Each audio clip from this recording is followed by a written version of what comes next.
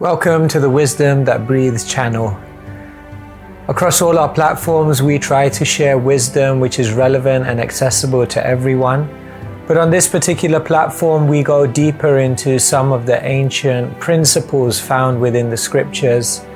If you find some of the terminology difficult or inaccessible, then go over to our Keshava Swami YouTube channel where you'll be able to find other content which is perhaps more relatable. Thank you and enjoy the wisdom that breathes.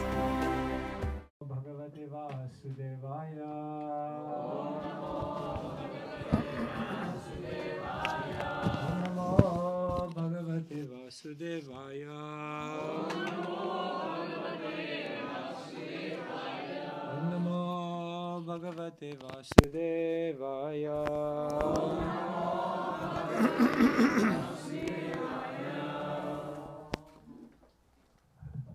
Welcome, Hare Krishna everyone. So today we're reading from the Bhagavad Gita, chapter number 9. Text number, uh, so this chapter is entitled The Most Confidential Knowledge. And today we're reading from text number 2. It's quite a famous verse. And uh, even if you don't know this verse, it's quite simple. So I'll say line by line and then you can repeat after me. Is that okay? Rajavidya Rajaguyam Pavitramidamuttamam Pratyakshavagavam Dharmyam Susukam Kartumavyayam Rajavidya Rajaguyam पवित्रामिदमुत्तमाम् प्रत्यक्षावगमं धर्म्याम्। सुसुखां कर्तुमव्ययाम्। राजविद्या राजगुयाम्।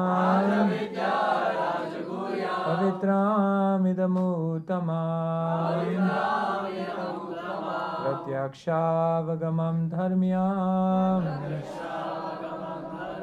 सुसुखां कर्तुमाव्ययाम् is, is it there? Is that, oh, okay. I was thinking like, wow, you guys are good. You know? it's on the board. Cheating. Yes, please, if someone wants to repeat. Rajavidya Rajaguya Rajavidya Rajaguya Pavitramidamuttamam Pratyakshaavagamam dharmyam Susukham kartum avyayam Susukam Gartamavyayam Rajavidya Rajaguyam Pavitramidamuttamam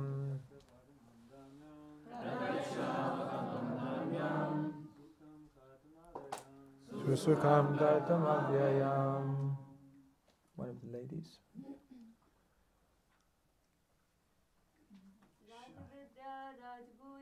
Rajavidya Rajaguyam Pavitramidamuttamam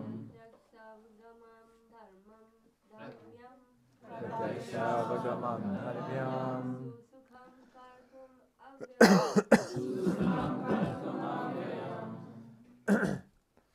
Rajavidya, the king of education, Rajaguyam, the king of confidential knowledge, Pavitram, the purest, Idam, this, Uttamam, transcendental, Pratyaksha, by direct experience, Avagamam, understood, Dharmyam, the principle of religion, Susukam, very happy, Kartum, to execute, Avyayam, everlasting. Translation and purport by His Divine Grace, Shlesi Bhaktivedanta Swami Srila Prabhupada Ki. Translation This knowledge is the king of education the most secret of all secrets. It is the purest knowledge, and because it gives direct perception of the self by realization, it is the perfection of religion. It is everlasting and it is joyfully performed. So the purport is very long, it's like uh, two, four, nearly five or six pages. So I'll just read the first paragraph and then let's see, we may pick out parts of it. So the first paragraph of the purport. This chapter of the Bhagavad Gita is called the King of Education because it is the essence of all doctrines and philosophies explained before. Among the principal philosophers in India are Gautama, Kanada, Kapila, Yajnavalkya, Shandilya, and Vaishvanara. And finally, there is Vyasadeva, the author of Vedanta Sutra. So there is no dearth of knowledge in the field of philosophy or transcendental knowledge. Now the Lord says that this ninth chapter is the king of all such knowledge, the essence of all knowledge that can be derived from the study of the Vedas and different kinds of philosophy. It is the most confidential because confidential or transcendental knowledge involves understanding the difference between the soul and the body. And the king of all confidential knowledge culminates in devotional service. Srila Prabhupada ki Om Agyanatimirandhasya Gyananjanashalakaya चक्षोरुन्मिलितं येन तस्मै श्रीगुरवे नमः श्रीचैतन्यमनोभीष्टं स्थापितं येन भूतले स्वयं रूपकदा मह्यं ददाति स्वपदान्तिकं वन्देऽहं श्रीगुरो श्रीतापदकमलं श्रीगुरोन् वैष्णवांश्च श्रीरूपां साग्रजातां सहगना रघुनाथान्वितं तं सजीवं साद्वैतं सावधूतं परिजनासहितं कृष्णचैतन्यदेवं श्रीराधाकृष्णपादान् सहगना ललिता श्रीविशाखान्वितांश्च।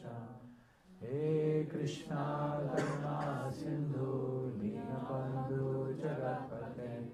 गोपेशा, गोपिका, कान्ता, राधा, कान्ता, नमोऽस्तु तप्ता गौराङ्गे, राधे वृन्दावनेश्वरी वृषभानुसुते देवी प्रणमामि हरिप्रिये वाञ्छाकल्पतरुभ्यश्च कृपा सिन्धुभ्येव च पतितानां पावनेभ्यो वैष्णवेभ्यो नमो नमः श्रीकृष्ण चैतन्य प्रभु Nityanand Advaita Gadadhar Hari Gaur Bhakta Vrinda. Hare Krishna, Hare Krishna, Krishna Krishna, Hare Hare. Hare Rama, Hare Rama, Rama Rama, Hare Hare. Forgive me, I've got a bit of a bad throat. so uh, here we're reading this beautiful verse um, to the background of police sirens. it's like good combination. Uh, and this verse is incredibly important because Krishna is introducing the beauty of the ninth chapter of the Bhagavad Gita.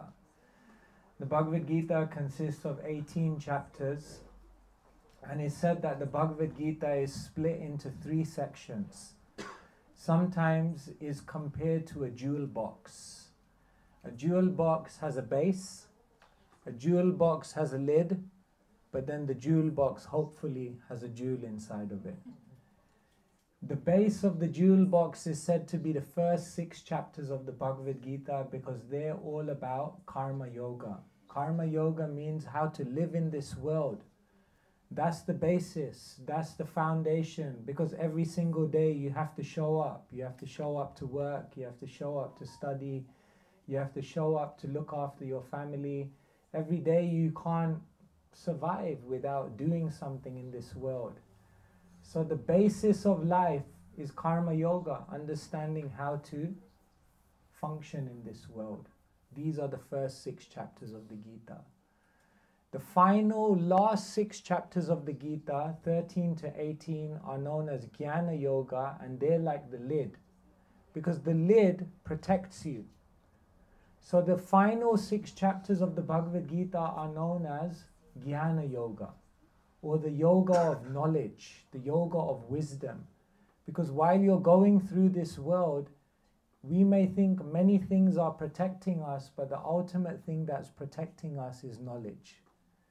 If you have knowledge of yourself, knowledge of the world, knowledge of karma, knowledge of the modes of nature, then while you're living in this world, you'll be protected.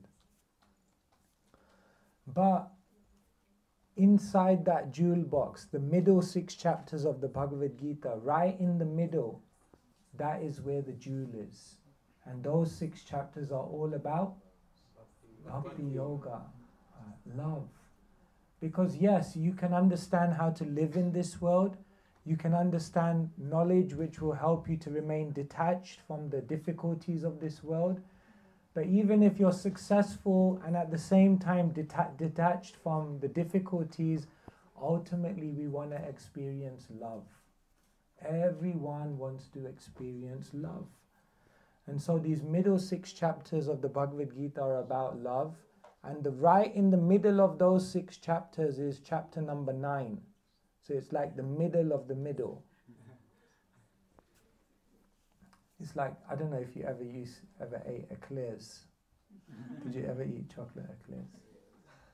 So the best thing was like it was nice also on the outside it was also sweet, but then when you get right to the middle, that's where the sweetest of the sweet comes. So the Bhagavad Gita is like that. The ninth chapter is considered the Raja Vidya, the most confidential knowledge, the king of knowledge. See, a king, what makes a king a king? Let me ask you. If I was to ask you, what one quality makes a king a king? What would you say it is? Kingdom. As a kingdom. exactly. And to get a kingdom, what do you have to do? You have to fight a war. You basically have to conquer.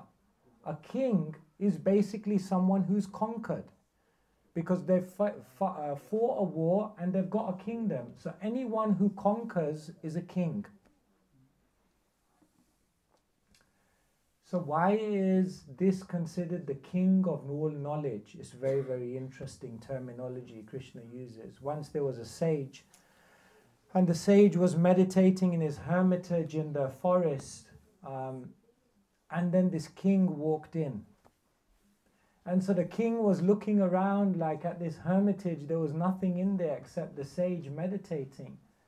So naturally, for a king who has so much material opulence, he was looking at the stage, thinking, you know, like, what did you do with your life, you know? So finally, the sage opened his eyes, and the king looked at the sage, and uh, the king looked at him and said, "Who are you?" To the sage. Jai Shri Shri Jagannath Baladev Subhadra Maharani ki jai. So the sage looked at the king, and uh, the king looked at the sage and said, Who are you? And the sage, without the blink of an eyelid, looked straight back at the king and said, I'm a king. he said, What do you mean you're a king? The king felt insulted by that. He appreciated his title as a king. So he said, What do you mean? So the king looked at the sage and he said, If you're a king, where are your armies? And the sage looked back at the king. Tidikshava karunika surida sarvadehinam ajata shatrava shanta shadava sadhubhushana. The king said, Where are your armies? The sage looked back at the king and the sage said, I don't have any enemies and therefore I don't need any armies. The king was like, Wow. Then the king looked at the sage and said, If you're a king, where's your kingdom? Hare nikala jivan mukta sa. The sage looked at the king and said, Because my mind, my words, my activities are absorbed in the divine, therefore, even though I'm living in this world, I'm not really living in this world. And therefore, where's my kingdom? My kingdom is beyond this physical realm. You can't see my kingdom that I live in. That's a sacred space. The king looked at the, yo- uh, the sage and said, If you're a king, where's all your wealth? And the yogi looked back at the sage looked back at the king and said, Santushta satatam yogi yatatma drita nishchaya. The yogi said, I'm completely satisfied in my heart. The richest person is not the one who has the most. The richest person is the one who needs the least. And therefore, the yogi said, My wealth is that I have internal satisfaction. That's my treasury. And in that moment, the king realized that every single thing he prided himself upon was actually indicative of an internal vacuum. He prided himself in his wealth because he didn't have inner satisfaction. He prided himself in his armies, but he realized that I've created so many enemies and therefore I need armies. He prided himself in his kingdom because he realized I haven't found any sacred space to live in, therefore I have to conquer more and more physical land. And the king realized that actually he's the real king. Because someone can conquer land, but who can conquer ignorance? Who can conquer their own mind and senses? Who can conquer their own pride? Who can conquer God? The person that can conquer these things, they are the real king. And therefore, here Krishna says to Arjun, this knowledge is the Raja Vidya, is the king of all knowledge. Because through this knowledge, one will be able to conquer over ignorance, conquer over their mind and senses, conquer over pride. This knowledge will even empower you to conquer God. Conquer God by pure love. And therefore, anyone who interfaces with this knowledge immediately becomes the greatest king. So Krishna says Rajavidya is the king of all knowledge, Rajaguyam. And although it's accessible to everyone, it's the most secret of all secrets. Because most knowledge in the world is understood through one's intellect, through one's IQ, through one's ability to memorize and absorb information. That's basically how the modern educational system works. I also went to university. And basically, what you have to do is uh, learn the art of how to memorize the past exam papers. if you manage that, then usually you can get through most academic education. Because it's all just about processing information, memorizing, and learning techniques by which you can jump through the hoops so that you can tick the boxes and then you get all the letters behind your name. But spiritual knowledge is not like that. Spiritual knowledge is known as Rajaguya. It's very, very confidential. It's very, very secret. Because one can't understand it simply by reading books. One can't even understand it simply by listening to lectures. Through that, one will get some insight. But ultimately, this knowledge is only awakened within a heart which is completely humble and a heart which is uh, completely um, attracted to serving God.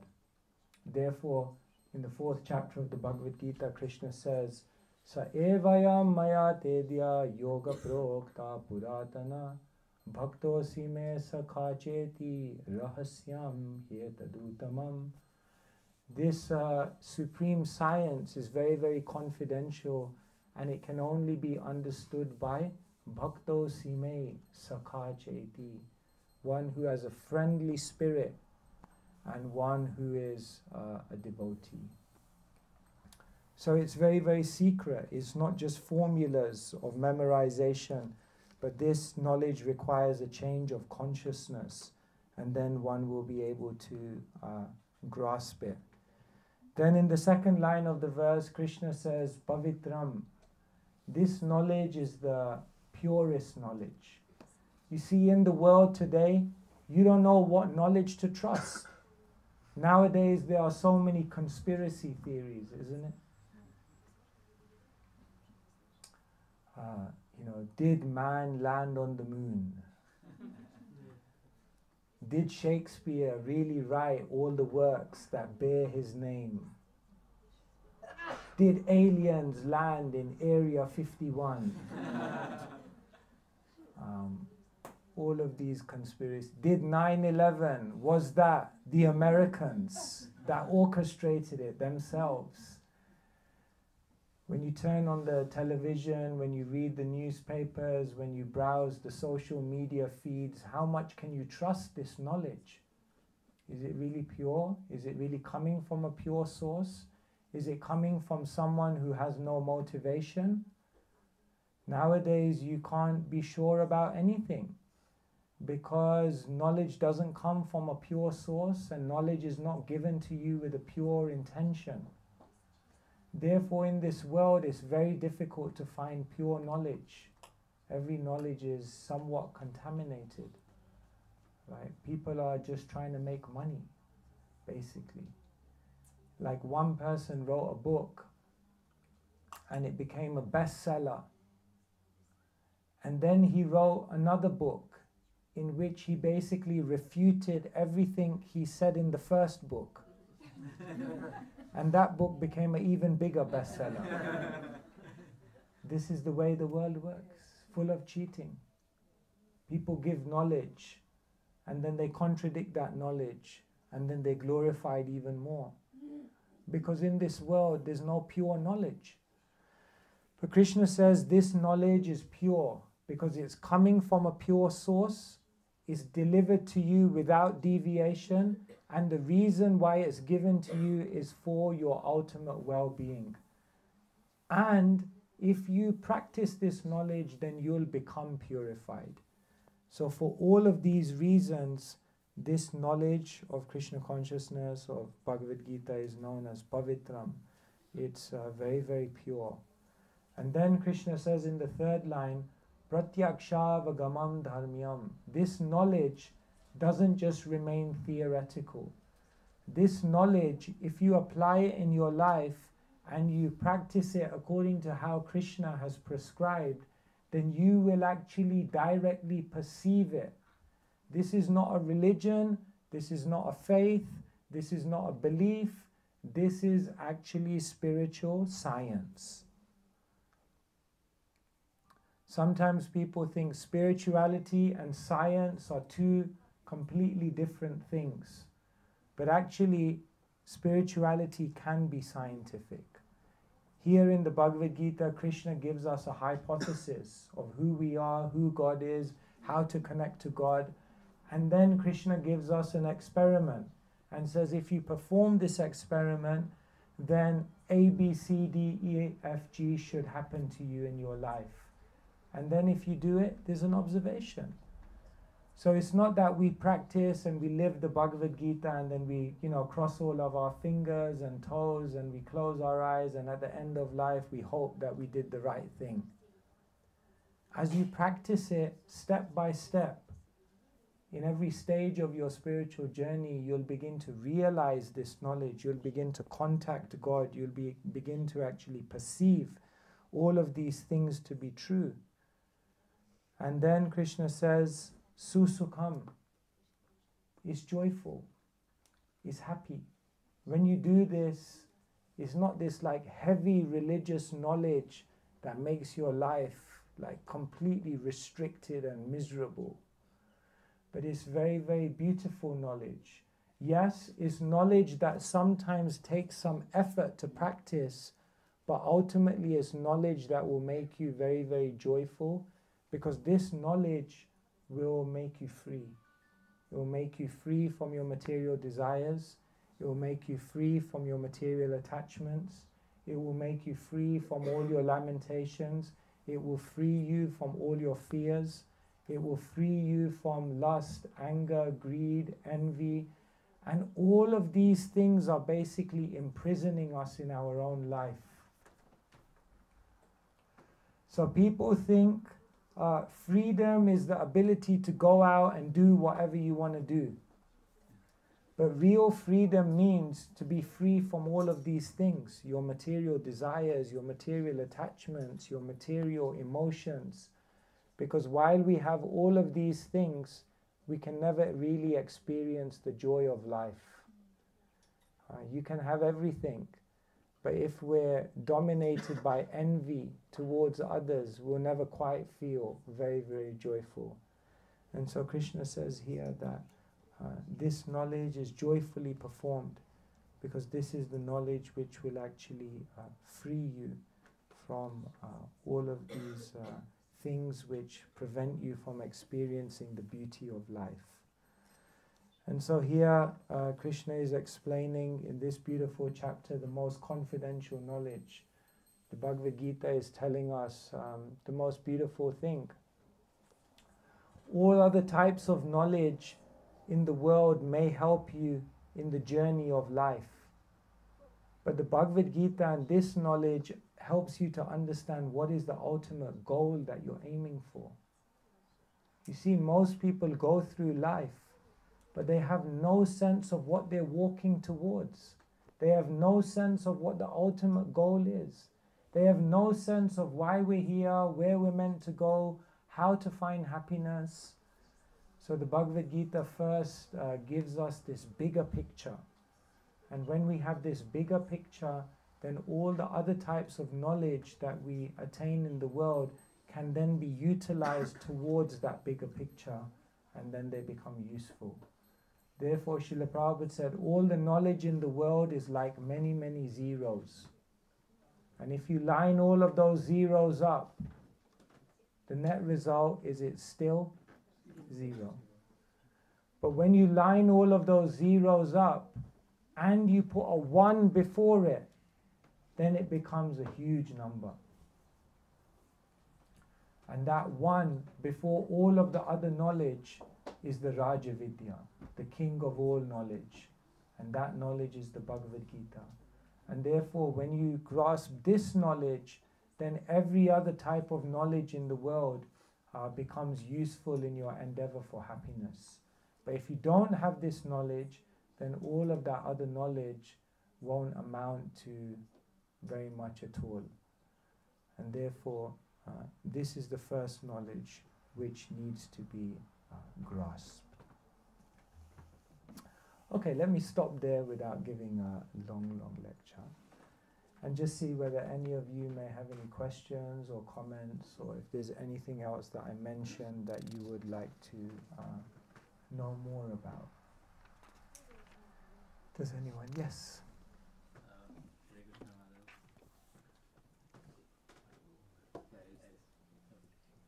So I was just uh, wondering that, uh, uh, like you said that uh, the jewel- jewelry box example you gave. So uh, the last six chapters are considered to be uh, in Jnana Yoga, but we also know that uh, 18th chapter is the conclusion of Bhagavad Gita. So uh, and conclusion of Bhagavad Gita is Bhakti. So how do we understand this? And Yeah. I, I wanted also to ask this question. For example, in the fourth chapter, 410, they're speaking also about transcendental love. yeah, Yes. Yes. Yes, so uh, it seems that there is bhakti uh, outside of these middle six chapters as well. So, how do we understand that? Yes, actually, uh, what the acharyas uh, explain is that karma and gyan, unless they're Jai Shri Shri Jagannath Baladev Subhadra Maharani ki Shri Gaurnitai ki uh, karma yoga and jnana yoga, unless they are touched by some element of bhakti, there's no life even to them. And therefore, even karma yoga and jnana yoga, they have to be combined with some level of bhakti or devotion to give them life. And therefore, one finds indication of bhakti uh, in many places outside of the middle six chapters of the Bhagavad Gita, not just the fourth chapter, in practically every chapter. In the sixth chapter of the Bhagavad Gita, for example, Krishna says, Yoginam api sarvesham madgatenantaratmana shraddhavan bhajate yomam same yukta tamo mataha. Of all yogis, the bhakti yogi is the highest. Um, uh, you know, in the second chapter, Krishna will explain the same thing about bhakti. Um, so, in many places, bhakti is explained, including the 18th chapter as well, which is the conclusion. But the idea is that, broadly speaking, the emphasis of bhakti teachings are found within the middle six chapters of the Gita. That's where bhakti is most. Uh, uh, elucidated in most detail. Um, and, and so like that. Is that okay? Does that make sense? Yeah. Yes.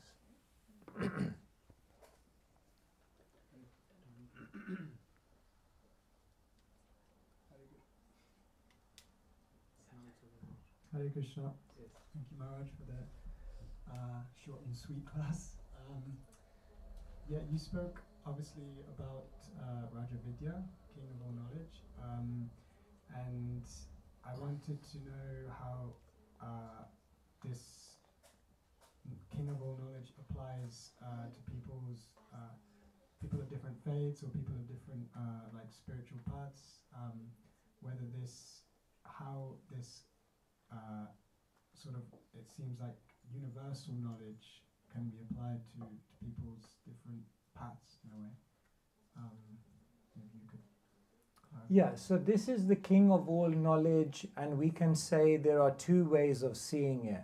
This is the king of all knowledge because, number one, in general, knowledge of the soul, God, the uh, world we're living in, and our relationship with God, this kind of spiritual knowledge is the most important knowledge because it's the most confidential knowledge. Because as I mentioned, when we understand those basic things, then every other knowledge that we have can be utilized towards that. And therefore, this is the first knowledge to understand. Who am I? Who is God? What is this world? What is my relationship with Him?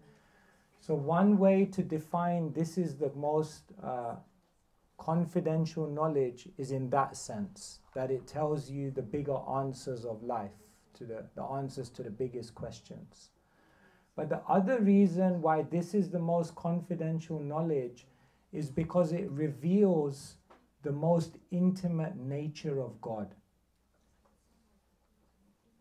What this chapter reveals is not just who you are who is god what's your relationship with him but what this chapter relates to the reader, to what Krishna relates to Arjuna in this chapter, is the most confidential aspect of God's personality.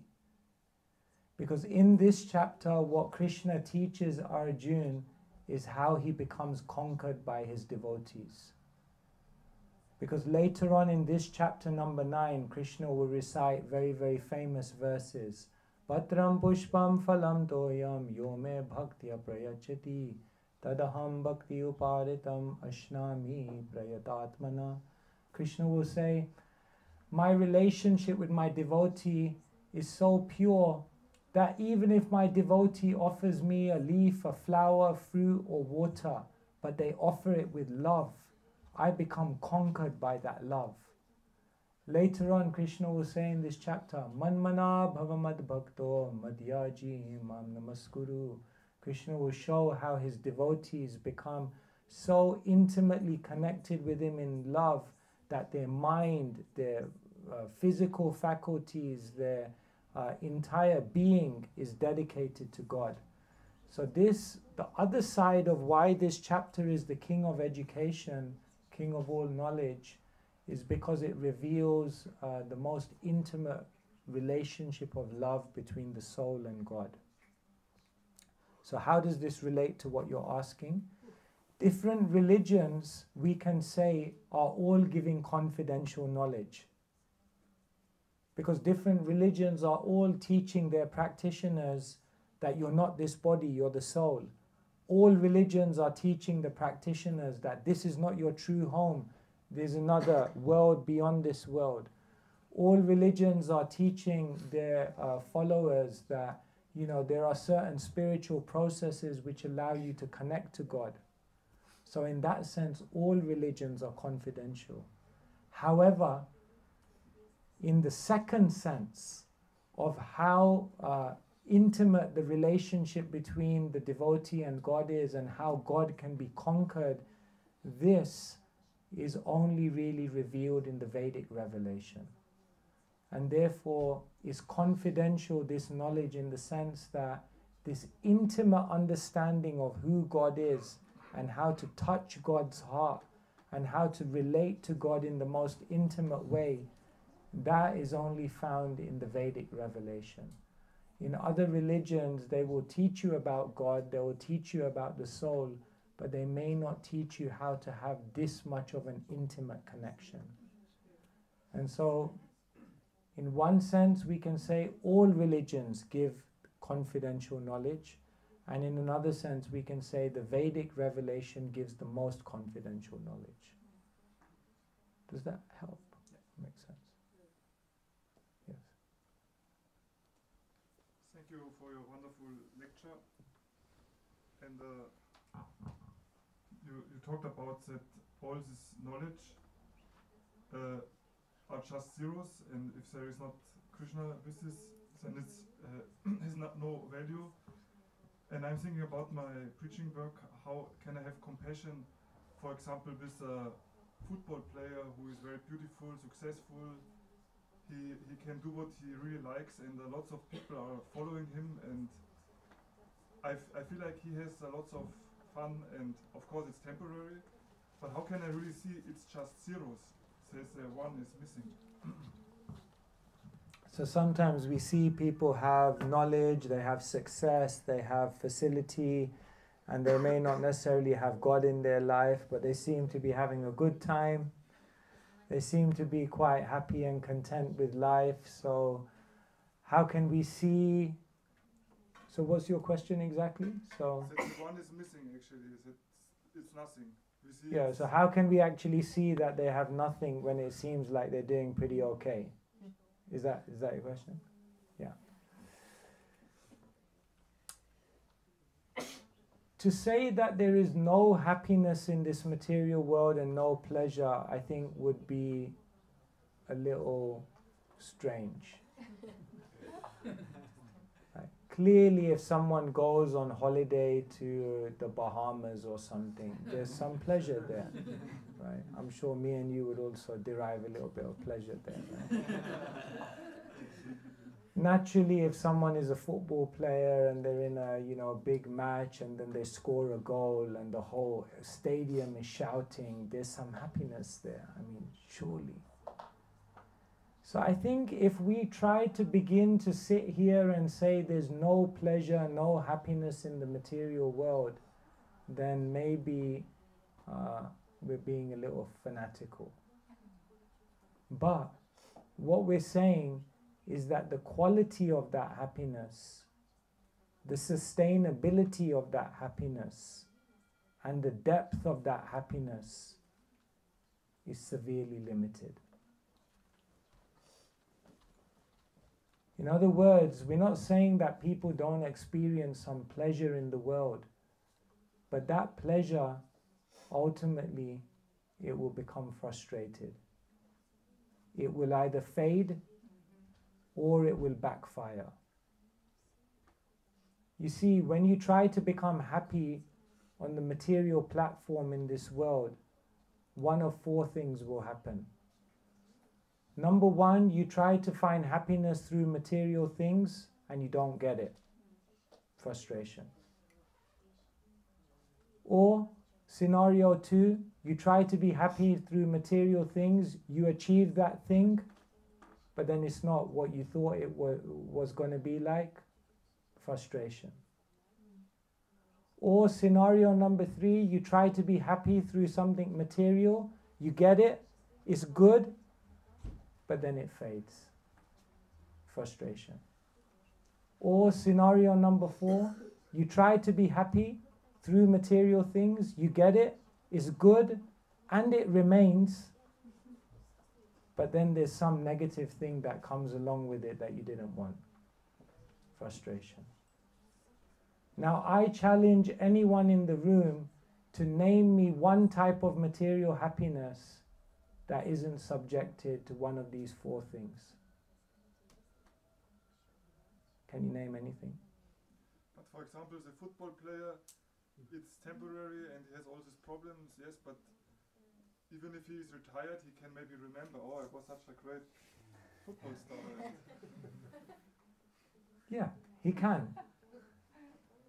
While he's sitting in his chair with many diseases and uh, onslaughts of material, old age, and you know, hardly being able to eat anything because all his teeth has fallen out, and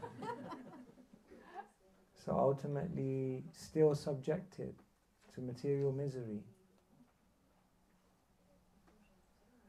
So it's like you can be the top of Division 2, but you're still in Division 2. So if you want Division 1 happiness, that spiritual happiness. So people say, like, I want to achieve this, this will be the most amazing thing.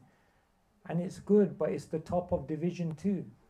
It's still a lower division of happiness because all material happiness will be subjected to these kind of the four things that I just mentioned. And ultimately, those things will never bring you real fulfillment. That Something will always be missing.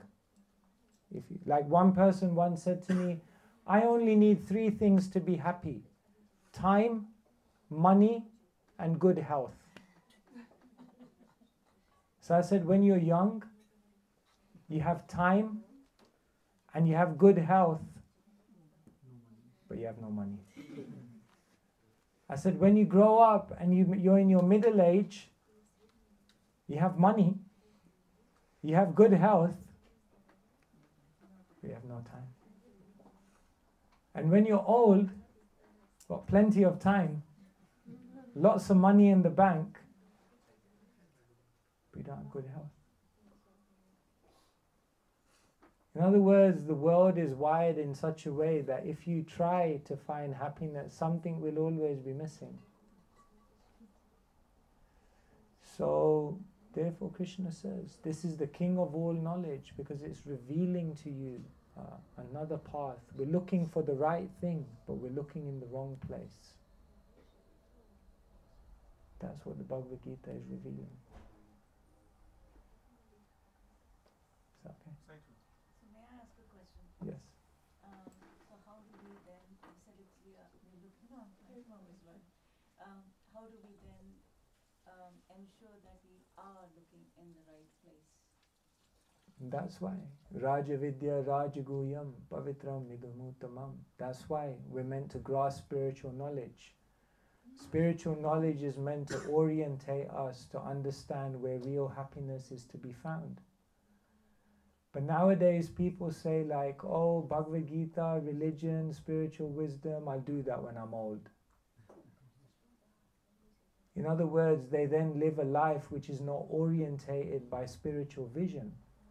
And therefore, they live their whole life trying to find happiness uh, in a place where happiness is not to be found. And so, if you want to know where to find happiness, if you want to know how to find happiness, and if you want to know who you have to connect with to find the deepest type of happiness, all of that knowledge is contained within the Bhagavad Gita. And therefore, uh, it's the king of all education. Because if you learn all other things but you don't learn this, it's basically a waste of time. That's basically what it is. Yes. So, uh, my question is like some of us are aspiring devotees, maybe aspiring sannyasis. Thank you very much. Oh, that's good to know. we should exchange numbers at the end of this program. We can help you on the journey.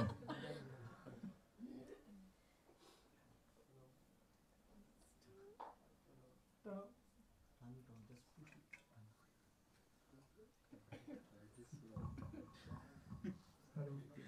So, I want to understand how challenging is life of a devotee and a sannyasi.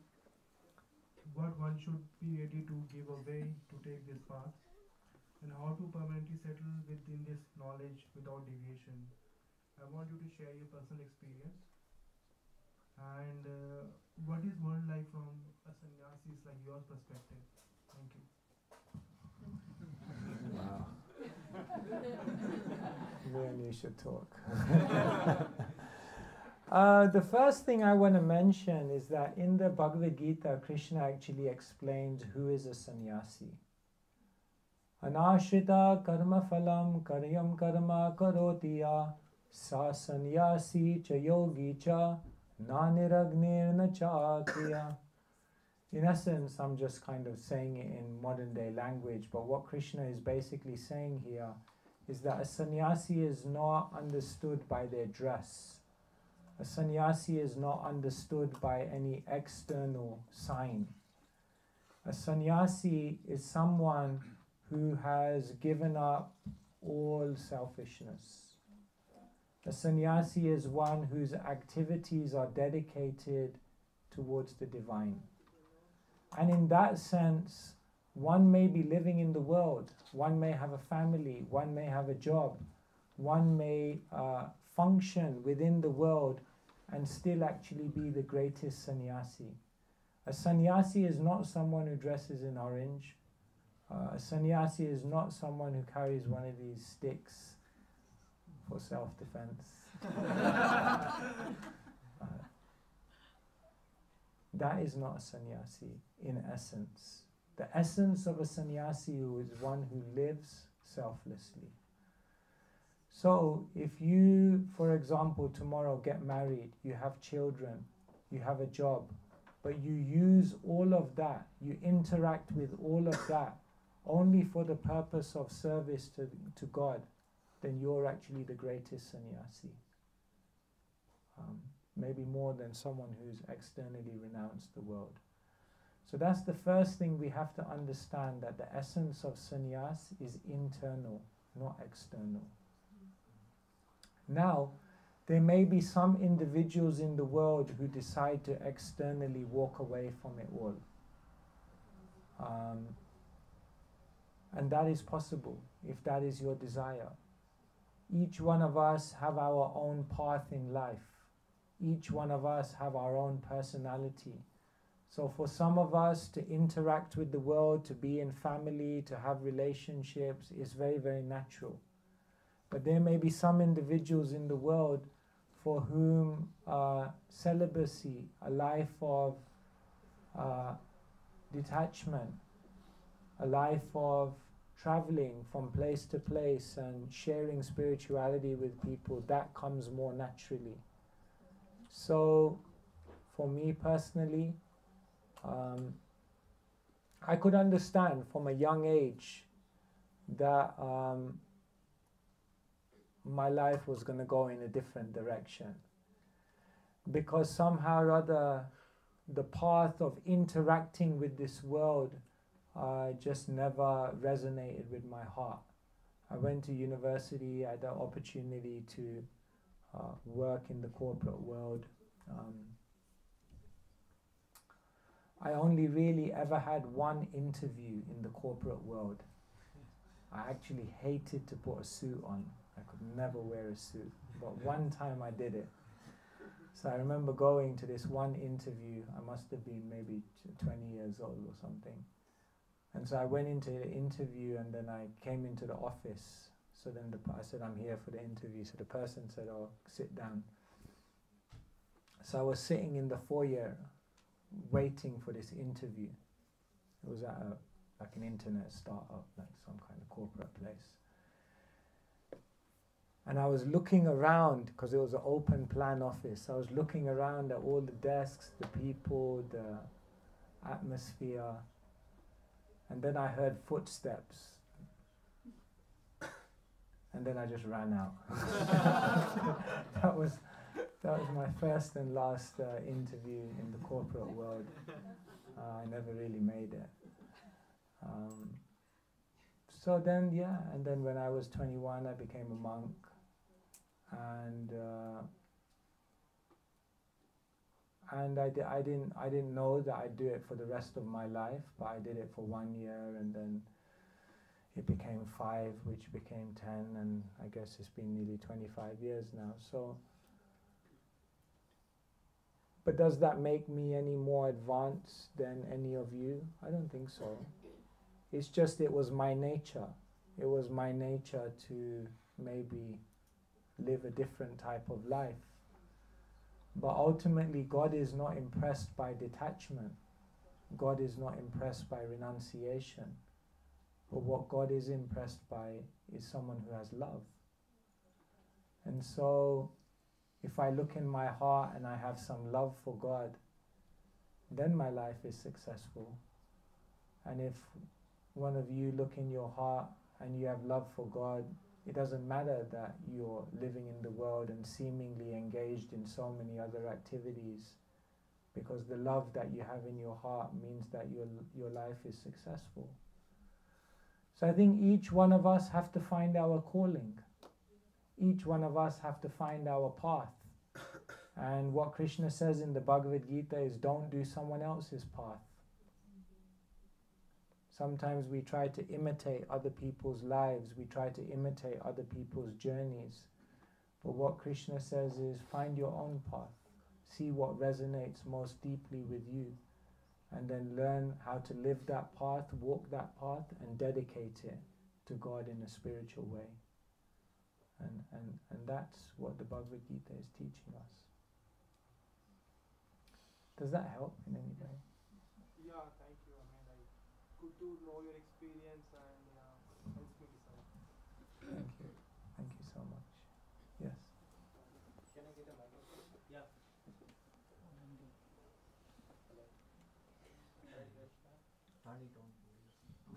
Hello, Hare Krishna.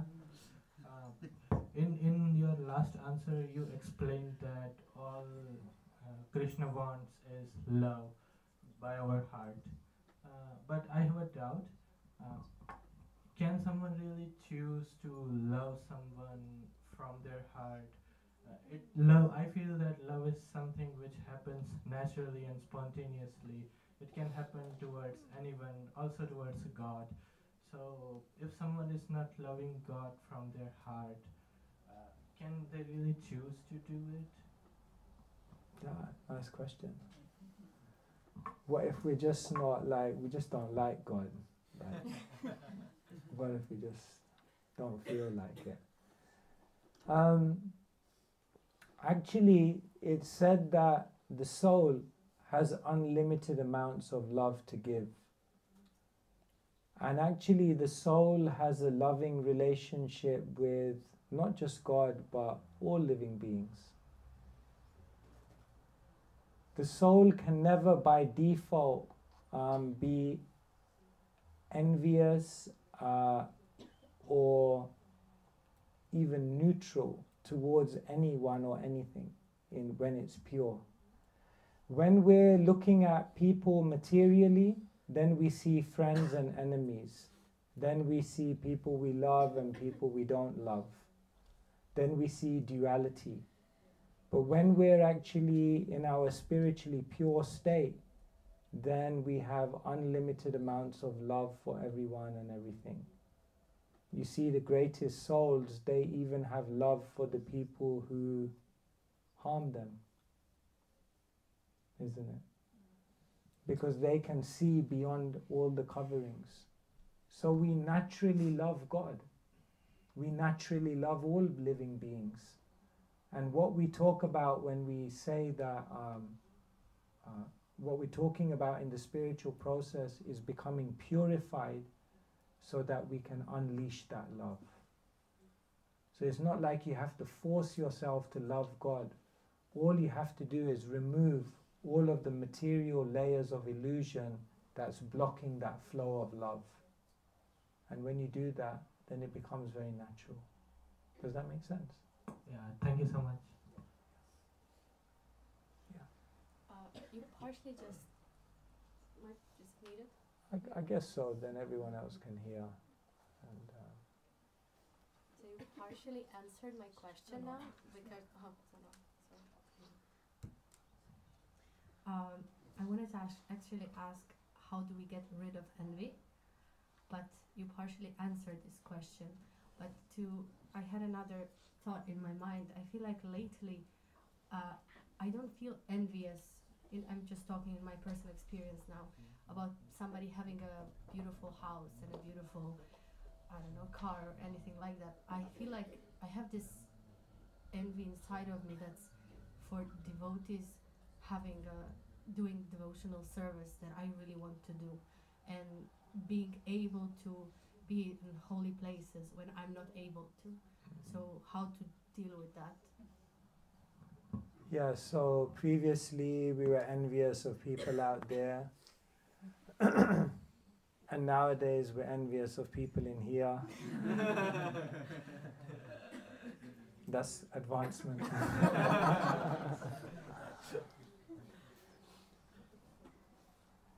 the reason why we envy is because we have uh, the basic misconception that if someone else is doing well, then it means I'm in some way losing out. See, the material world trains us in this way to compete with each other. So that if someone else is doing well, then in some way I'm missing out. If someone is going high, then it means I'm going lower. If someone is getting attention, then it means everyone's going to forget me. Um, so we always have this sense of separating ourselves from others. But actually, in the spiritual um, sphere, we see that when others are doing well, when others are striving, when others are um, connecting with God, if we are happy for them, if we uh, appreciate and are grateful for their success, then we also actually share in that success. And this is the whole process of uh, spiritual life to understand that all of us in this room are not in competition, but all of us in this room are actually interconnected and we can help each other. And so it takes time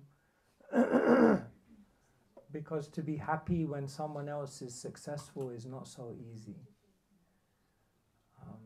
To be compassionate when someone else is struggling, still you can do that. But to be happy when someone else is doing well, that's hard. Um, so we have this envious mentality um, because of comparison and competition. You know the story, right, of the person who the genie came to him and he said, You can have anything you want. And he said, Yeah, great. Said, There's only one thing, your neighbor will get double. so he kind of, uh, that was a little bit of a blow, but somehow or other he managed to blank it out of his consciousness. He said, I'll take the boon anyway. Anyway, then he said, I want one Mercedes, and boom, Mercedes came, and then he looked out of the window, and the neighbor had two. He said, I want a five story mansion, voomp.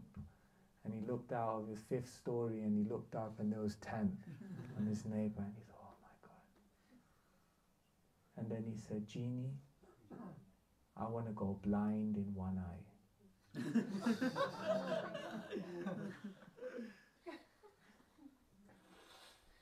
That's envy. That's envy.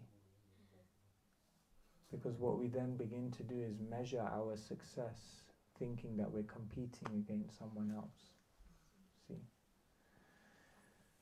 So over time we begin to realize if others are doing well, let me be happy for them. And in that happiness, um, we rise with them. They take us with them.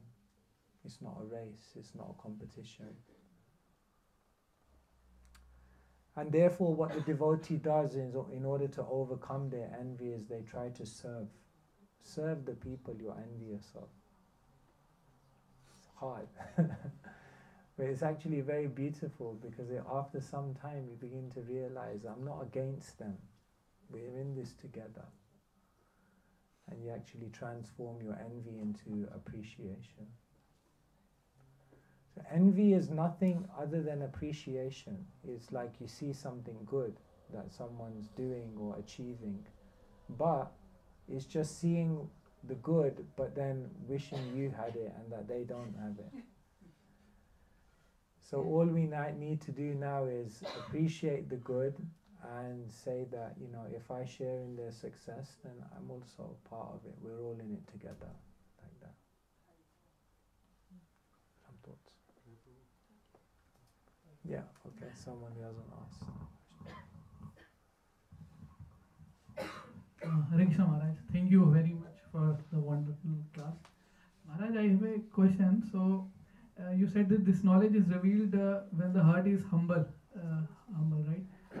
so, how to practice humility? By practicing devotion service, uh, does humility automatically comes, or you have to strive for humility also?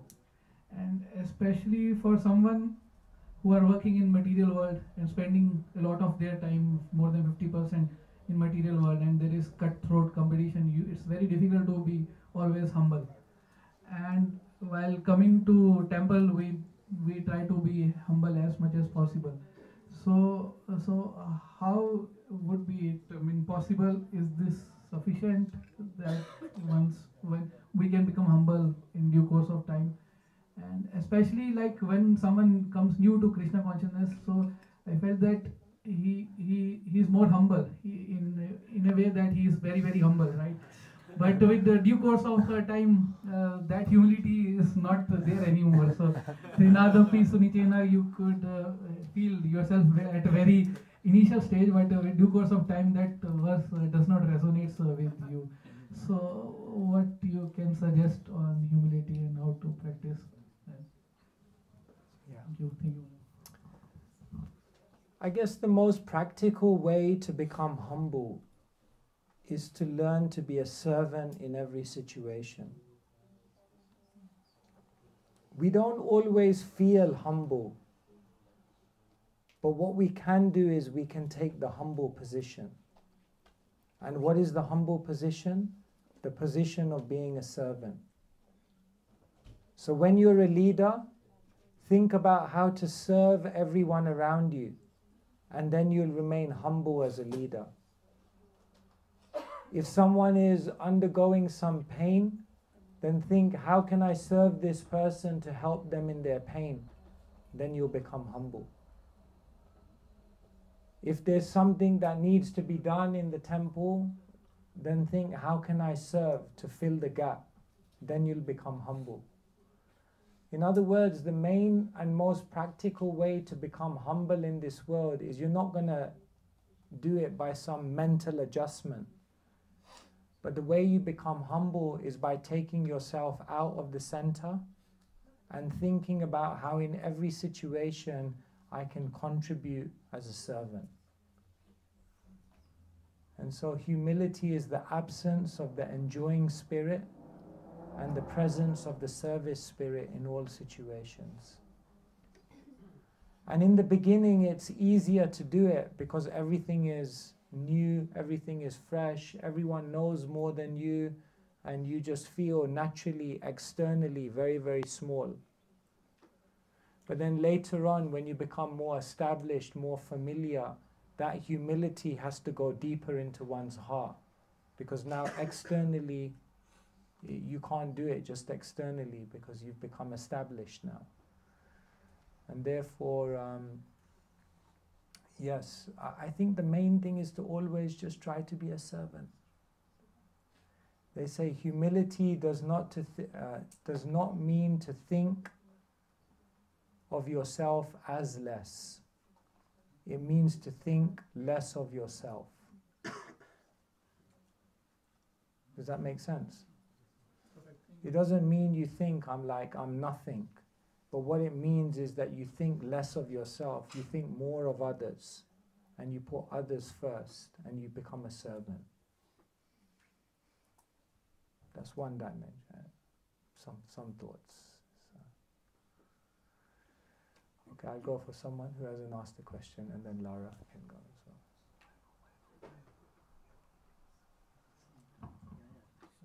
Maharaj, my question was why it is so difficult in this life uh, when you reach to a end of a stage, it realizes that material enjoyment was not ultimate than uh, Rajavidya, acquiring means Rajavidya, uh, finding out the intimate relationship with our God is most important. Why someone has to go through that journey to realize that at later point. Yeah, we are not like a special soul, of course, like you are born, but how it's so difficult in this in this life to realize at that moment only at the end when we are in like point of death or just before death when we have passed through all of things in our life and uh, not in between or earlier stage. Despite of having knowledge despite of practicing it uh, we don't realize it. Why So you're saying sometimes we can read all of this, we can be in the association of devotees, we can understand it all theoretically, but somehow the penny is not dropping. We don't really get it. And why is it that for some of us it takes a whole lifetime to realize this? Is that your question? Yeah, and I feel after hearing from you that once someone has got a knowledge of true knowledge of Rajavidya, I think the person would give up all everything in his material life and would take uh, maybe sannyasi or would practice up because it's pure knowledge and something he really knows it that its material is nothing at all. But despite of knowing it, we're still somehow falling in material uh, world and coming out. It's not necessarily that someone who's a sannyasi or is turned away has understood all of this knowledge, or that when you understand this knowledge, that's what you will do.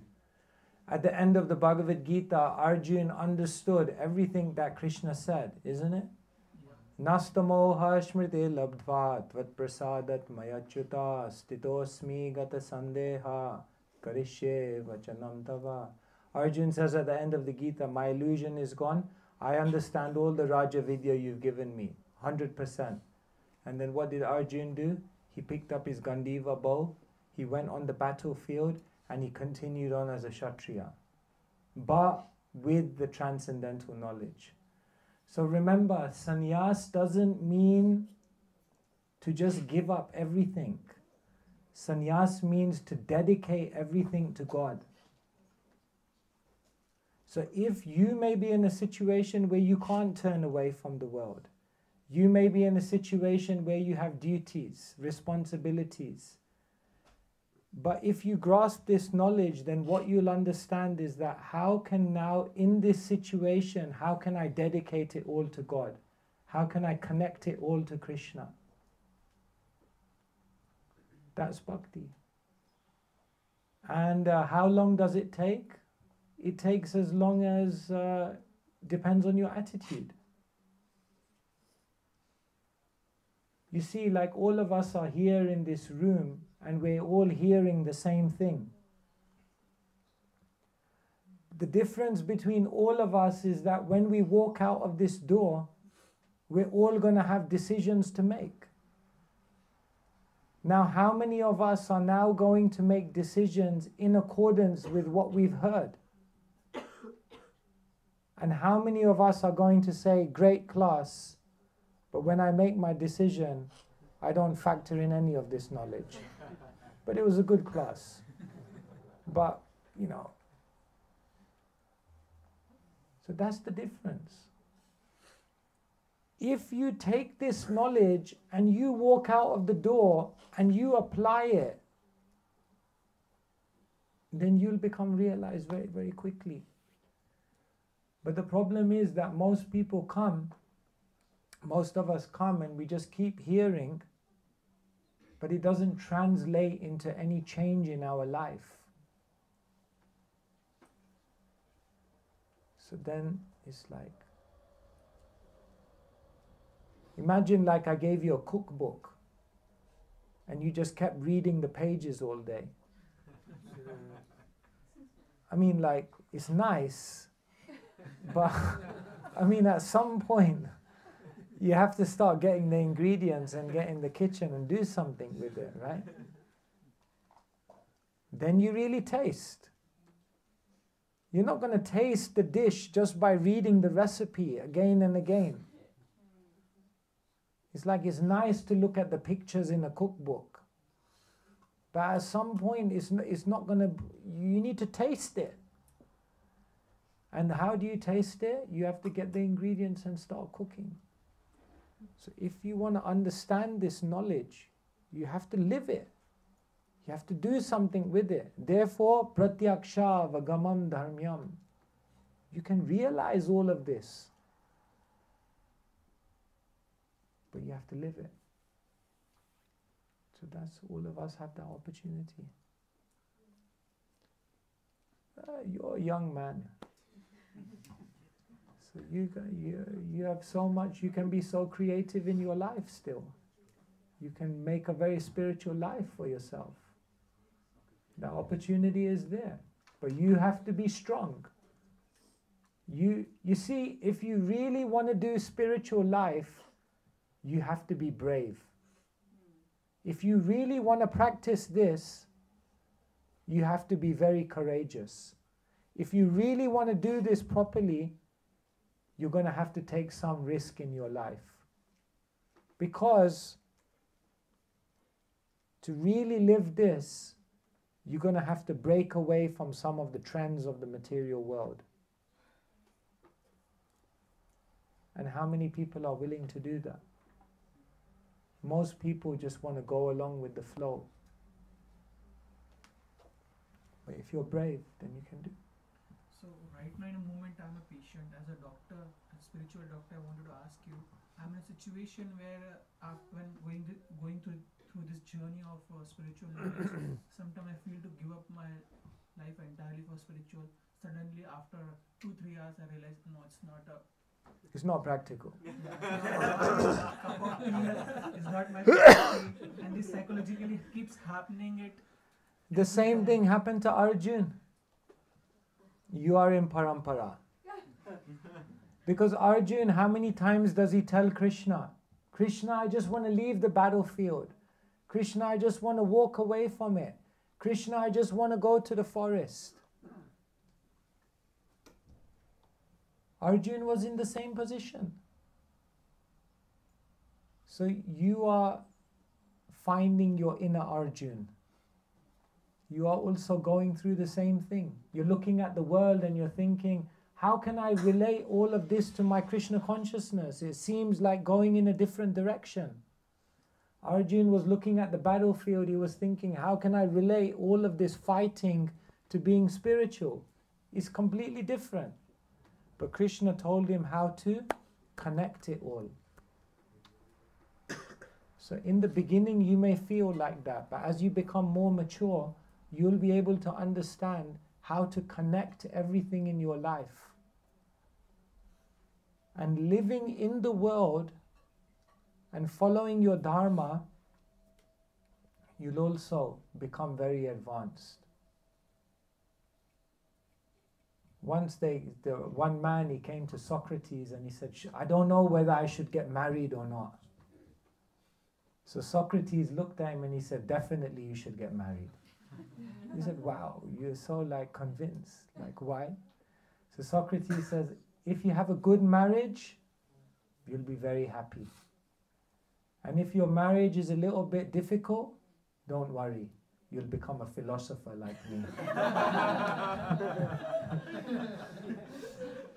so, one way or the other, When you live in the world and you go through the ups and downs of it all, you'll come out a very wise man.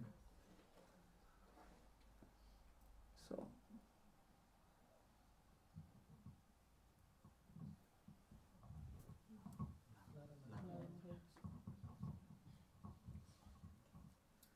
Krishna, thank you so much, Maharaj. I'm really happy that you came back to Berlin. I'm not the only one, I know.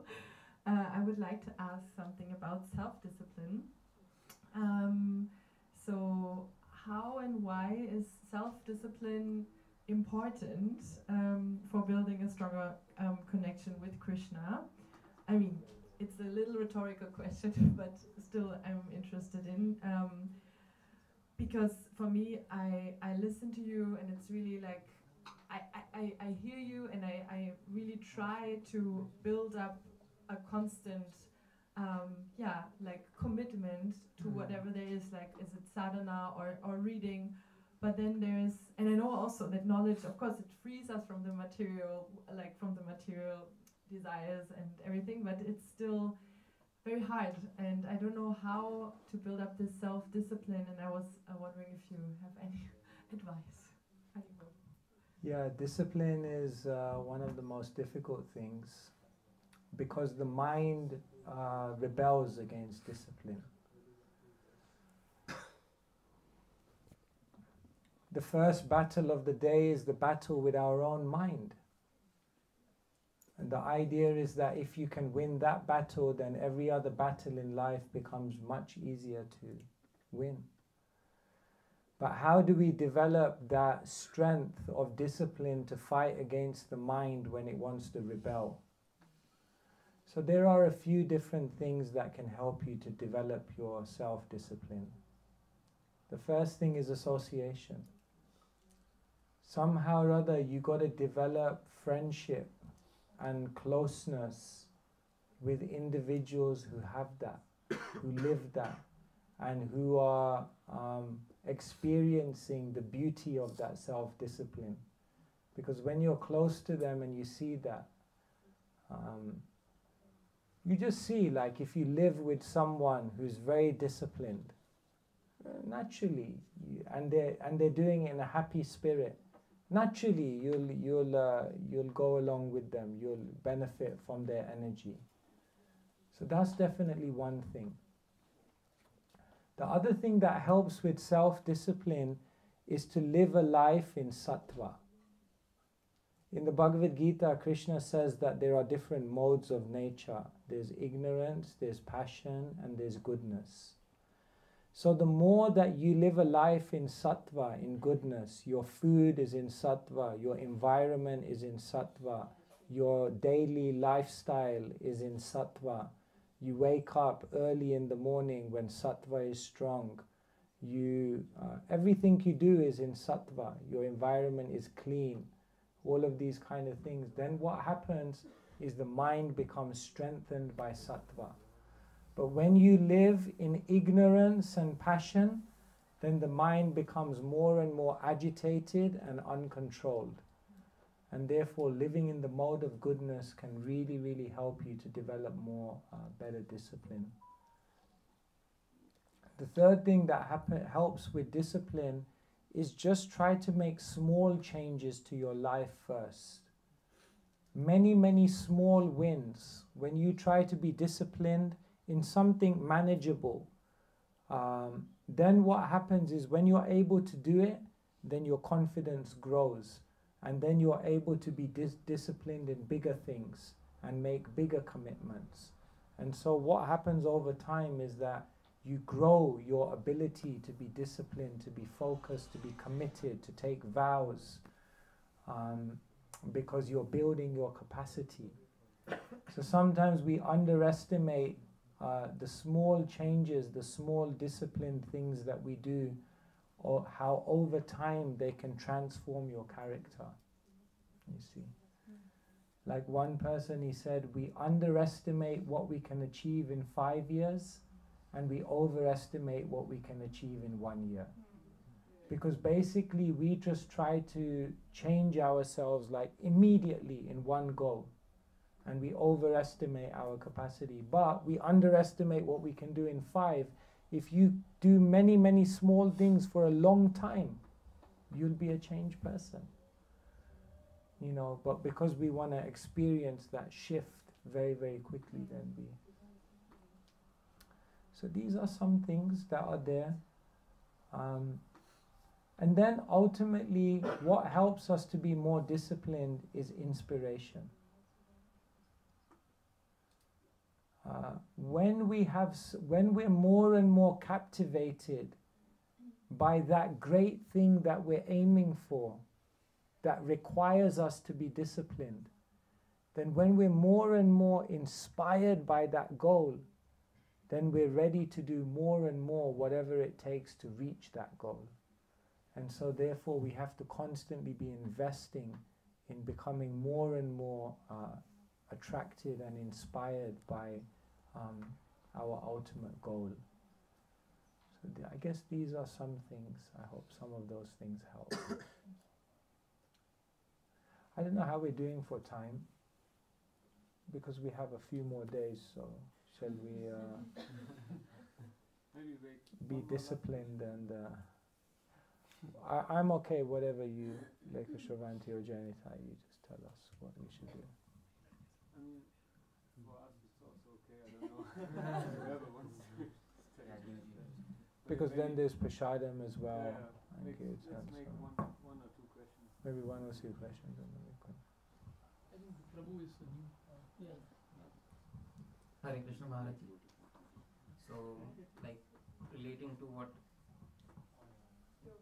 yeah, so relating to what uh, the situation Arjuna is in, meaning um, I have experienced and I have also witnessed this that people like here Maharaj, uh, Prabhuji is also willing to take up life of sannyasi.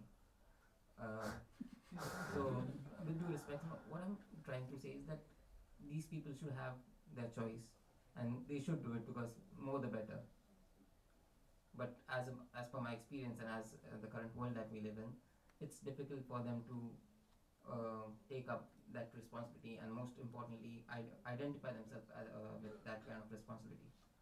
Uh, so naturally, somehow us needs to take the responsibility of protecting them and creating a world to, you know, where they could have that choice.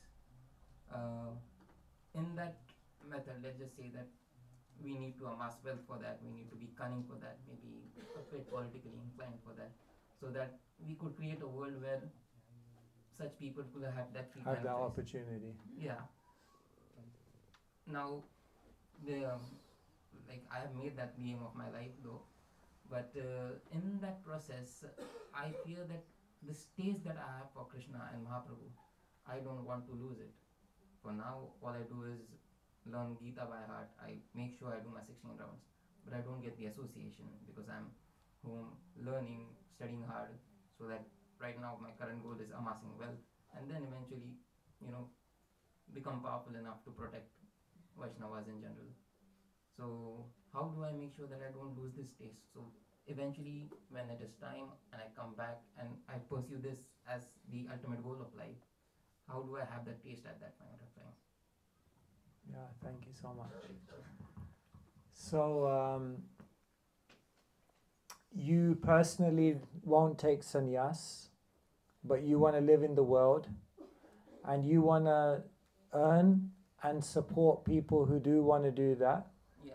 And while you earn and try to get ahead in this world, sometimes you have to be a little cunning, sometimes you have to engage with people in the world, and that may mean that, you know, you're to some extent getting materially affected by that. Mm. So, how can you rise in this world to be materially successful and at the same time keep your good spiritual consciousness so that you don't, you know, because the Bible says, What profit the man who gains the whole world but loses their soul? So, you don't want to lose your soul in the process. That's the point. Let's just say I don't want to lose Mahaprabhu. Yeah, yeah. That's why uh, to have a time every single day which is dedicated towards spiritual practice is absolutely essential. It doesn't matter whether you're a sannyasi or whether you're a grihasta or whether you're working in the corporate world or giving lectures on the Bhagavad Gita every single day. It doesn't matter who you are, there should be some time every single day when every single person uh, just connects with God, just connects with Krishna. This is called sadhana. And what we tell everyone is that every single day, ideally, if you can, early morning, set aside half an hour, set aside one hour, and in that one hour, chant Krishna's names. In that one hour, read Bhagavad Gita. In that one hour, set your intention and remember your highest principles. And what happens is when you go in and you uh, strengthen your inner world, then when you come out to engage with the external world, you will be able to influence the world without being influenced by the world. But in order to go out and influence the world without being influenced, first you have to spend some time strengthening your inner world. And so, therefore, every single day you should do some spiritual activity.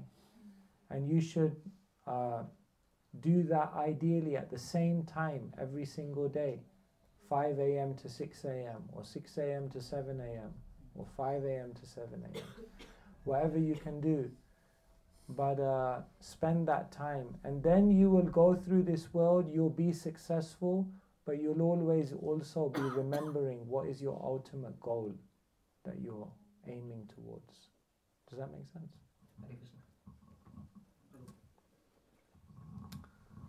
I think here this. Uh, okay. You get the last question.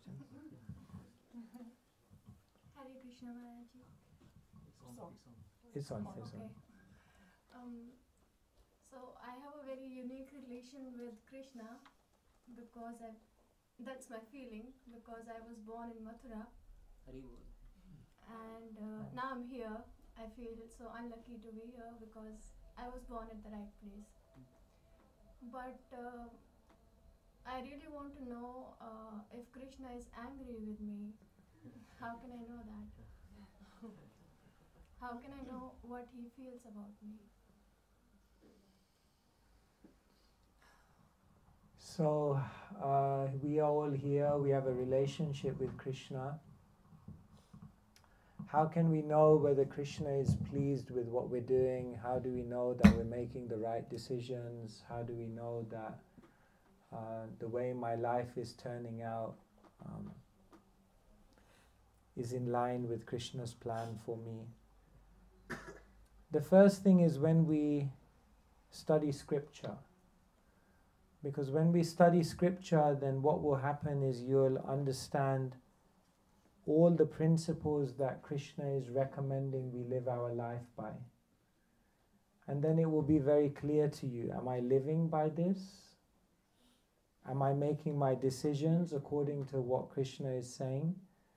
Am I, uh, do I have the character that Krishna wants me to have? Um, so when we read the scripture, we understand more about how Krishna wants us to live our life. And then you'll be much more uh, aware. Um, because you'll know when I live according to this, then I'm living according to Krishna's plan. And when I'm living according to Krishna's plan, then Krishna is happy. And then the other way we understand whether Krishna is happy with us is by um, asking Krishna's devotees, those who are close to Krishna, those who um, can help you to apply all of this to your life. So you can come to them and you can ask them, This is how I'm living, this is what I'm doing. What do you think? Do you think Krishna would be happy with this?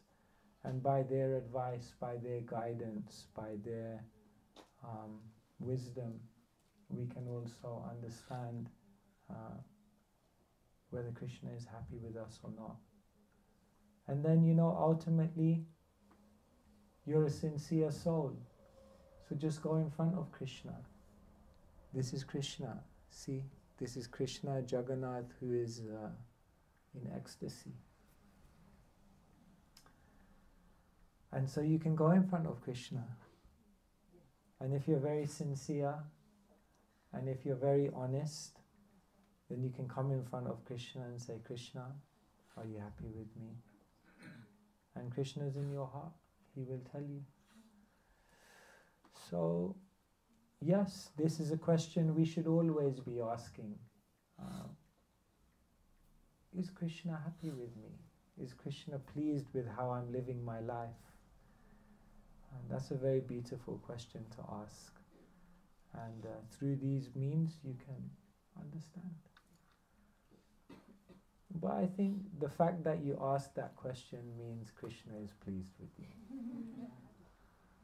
because only a sincere person would ask such a question. So, but we can all improve. So may you please Krishna more and more. And we're very happy to know there's someone in the room who was born in Krishna's backyard. That's very nice. Thank you for your nice question. All right, everyone. So thank you so much. These were just some uh, thoughts. We had a little bit of discussion here. Um, and yeah, look forward to connecting over the next few days. All the best. Srila Prabhupada ki Jai. Bhagavad Gita ki Jai.